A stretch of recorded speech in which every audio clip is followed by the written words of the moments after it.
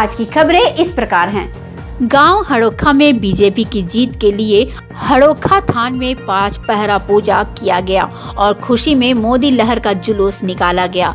सब लोग डीजे में झूम झूम कर नाचे और खुशी मनाते दिखे। खबर तीन न्यूज़ के लिए दुमका ब्यूरो सुरेश प्रसाद की रिपोर्ट।